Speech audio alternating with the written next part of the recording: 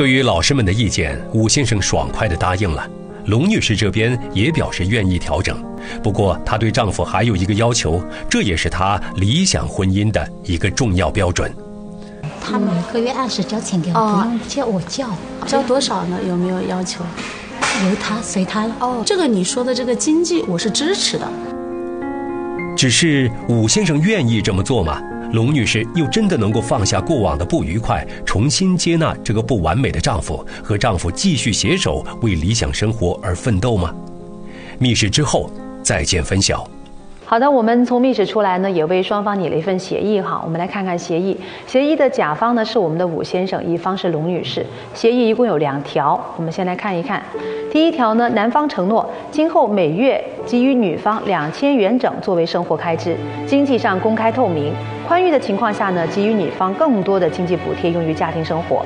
第二条，双方承诺彼此相互关爱、相互尊重、积极沟通，给予孩子更多的陪伴和关心，为孩子营造和谐的家庭氛围。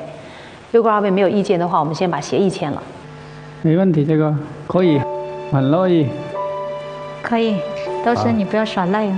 你应该说，我希望从今天开始，从这里开始，你会让我越来越开心。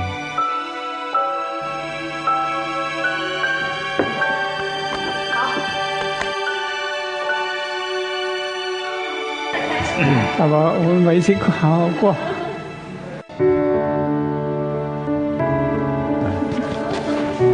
对对对对对对，哎呀，表扬表扬表！基于你们今天的良好表现，为了鼓励你们啊，我们送一份礼物给你们。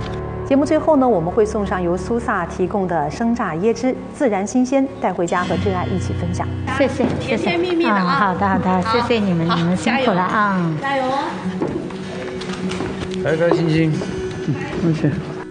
调解最后，龙女士终于感受到了丈夫久违的温暖。